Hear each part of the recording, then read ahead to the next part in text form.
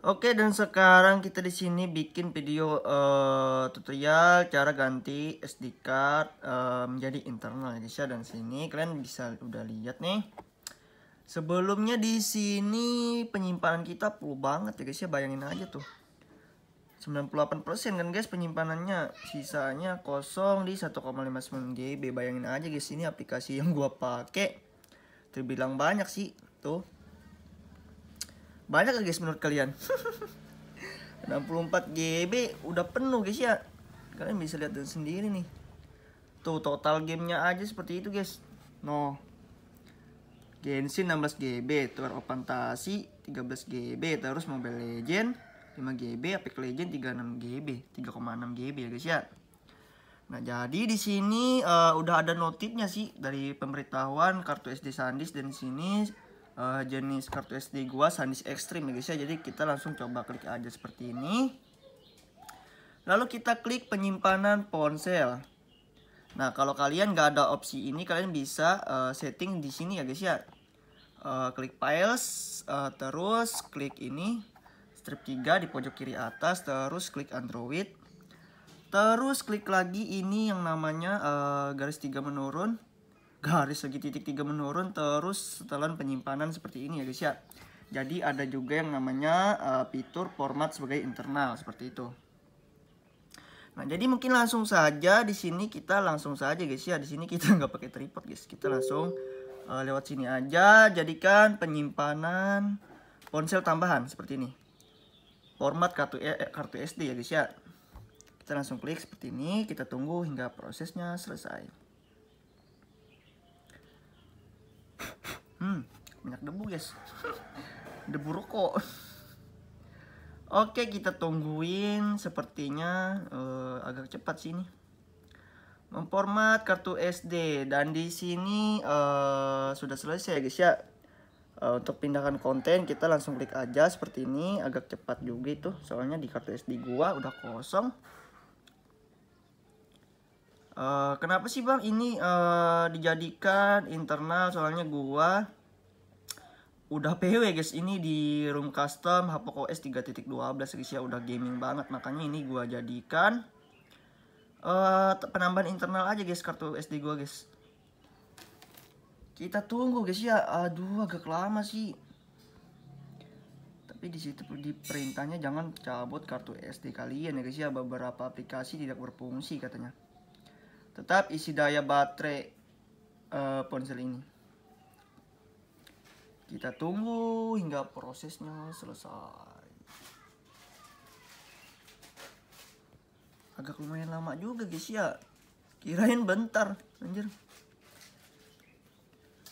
Nah dan sekarang mungkin uh, kita coba keluarkan aja guys ya uh, tabnya. Jadi kita coba langsung klik aja setelan.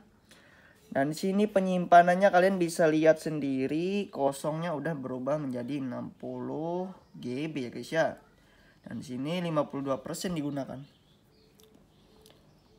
Nah, bayangin guys, ini di aplikasinya udah terpindah guys ya otomatis. Di kartu SD guys ya.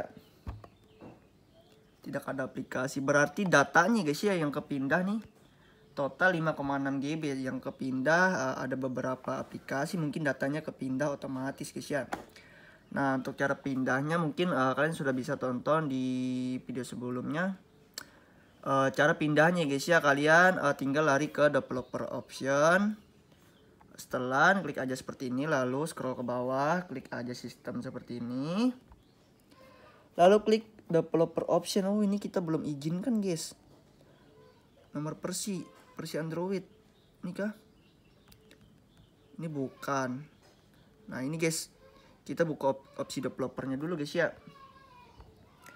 nah seperti ini opsi developer lalu scroll aja ke bawah terus klik aja ini paksa izinkan aplikasi uh, di eksternal ya guys ya seperti ini lalu kita langsung close tabnya multitasking kembali Oke, aduh, gue buka telegram lagi.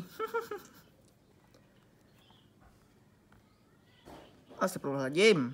Tidak. Nah, klik setelan seperti ini. Lalu kita klik penyimpanan, kita klik penyimpanan uh, bersama internal, gamenya di sini. Kita klik aja langsung seperti itu guys ya. Jadi di sini terserah uh, kalian mau pindahkan uh, apa itu uh, yang bisanya aja guys ya untuk Genshin Impact sama Toro Fantasi nggak bisa dipindahkan ke kartu SD ya guys ya. Jadi yang bisa tuh Mobile Legend Bang. Dan di sini sudah muncul untuk ganti penyimpanannya jadi kita pindahkan ke kartu SD ya guys ya. Kita pindahkan aja seperti ini. Nah, itu udah proses guys ya. Jadi tungguin aja prosesnya. Uh, mohon maaf banget ya guys ya. Di sini kita nggak pakai tripod sama sekali. Ini apa tuh maksudnya? Memindahkan data. Oke dan sini sudah terpindah ya guys ya. Kita coba cek sekali lagi emang ke close kayak gitu ya guys ya? Kalau kalian mau pindah. Dan kita cek ke game kembali dan sini Mobile Legendnya udah nggak ada. Terus Apex Legendnya kita pindahkan aja guys ya ke kartu SanDisk terus kita klik pindahkan seperti ini. Oke, gimana menurut kalian? Apakah tutorialnya ini sangat bermanfaat dan cukup jelas? Uh, karena banyak yang bertanya-tanya ya guys ya di kolom komentar gua uh, perihal uh, mindahkan kartu SD uh, apa? Mindahkan ke apa? File internal yang full gitu datanya. Ke SD card yang sudah dijadikan internal guys ya. Soalnya uh, kadang otomatis kadang enggak seperti itu sih. Dan ada beberapa game yang nggak bisa dipindahkan ya guys ya. Semisal Genshin Impact dan Tower of Fantasy Oke, kalau kita cek lagi sekali lagi di sini penyimpanannya totalnya di 128 GB ya guys ya. Tuh penyimpanan perangkat. Oke, jadi gimana menurut kalian? Semoga bermanfaat ini tutorialnya.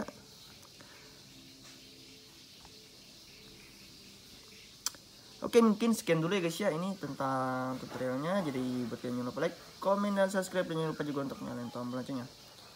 Assalamualaikum warahmatullahi wabarakatuh.